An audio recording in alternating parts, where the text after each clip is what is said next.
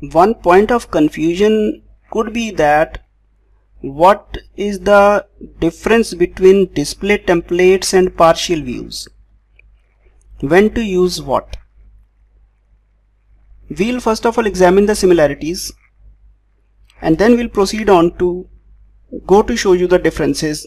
What are the what are the differences and where should one use one be used and where should the other be used?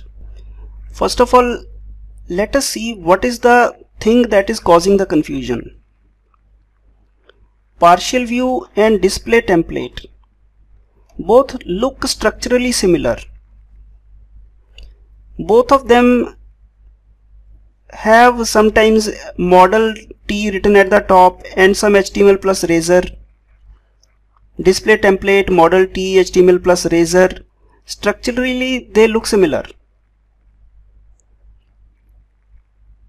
I am a bit hesitant on saying that they are exact structurally exact because this line at the rate model T is not compulsory inside a partial view.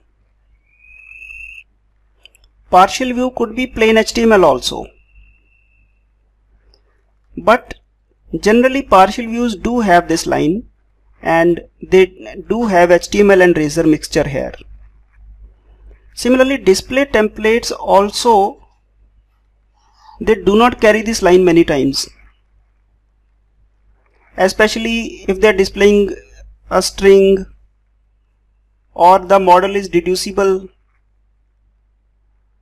and if it is correctly passed and you use its properties correctly inside the razor here this even is not necessary in case of a display template.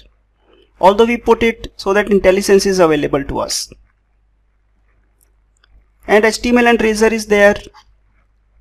Now what could be the like difference between them? When to use what? The usage is uh, first of all let me come to the concept. The concept is that display template is used to define the appearance of a model or a property.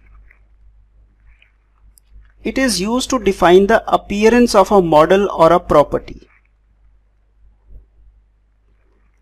Like uh, we can say uh, we have a C student data model class. And we want that in our project and in the entire project C student data should appear as a table so wherever we want to show the C student data model object it should be displayed as a table for that we'll, de we'll define a template. We'll define a display template placed under the display templates folder and a line written at the top at the rate model C student data full path to it and the table HTML and razor written inside it. And wherever we want to display that C student data object there we simply write at the rate html dot display for model and pass the name of this template and optionally pass the data. Or if the data is a part of the view then you don't need to pass the data. It is automatically done by the MVC framework.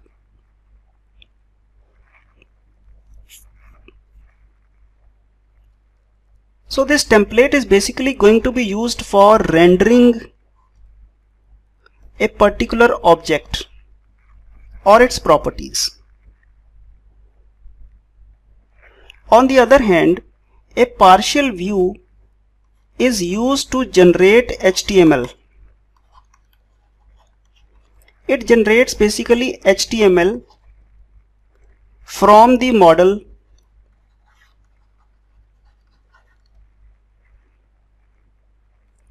it is actually used to prepare HTML so that it can be sent to the client browser. This HTML can be prepared with the help of an action method. And inside that action method you return